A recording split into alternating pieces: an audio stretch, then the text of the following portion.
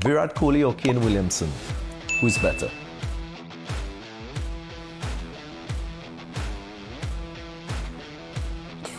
Ooh, tough one.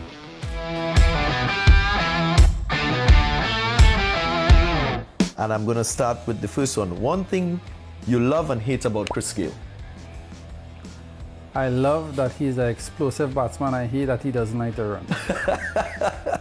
right. One word to describe 2016 T20 World Cup semi-final match versus India. One word.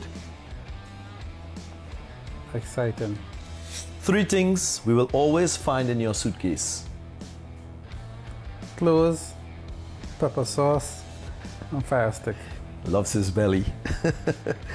One cricketer who you would not want to be stuck on an island with. Hetmyer. That's Shimron Hetmyer.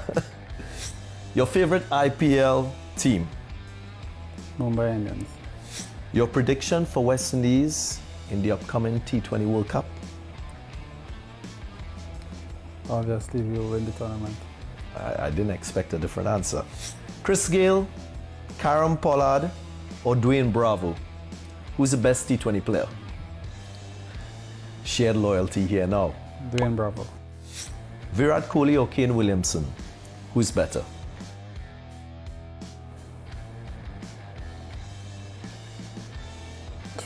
Ooh, tough one.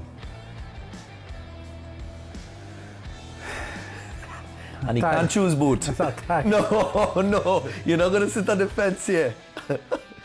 you gotta choose one. Virat Kohli. Virat Kohli.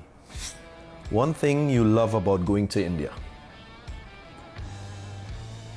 The atmosphere. The atmosphere, the passion, yep. One bowler you'd love to face from the past?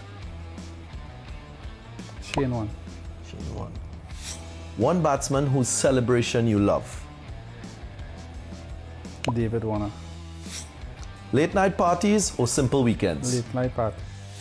The toughest bowler you've ever faced? I'll say Rashid Khan. Fastest century or man of the match in a World Cup final? Man of the match. One superpower you wish you had? Speed. Hmm. Loves bikes. Loves fast cars.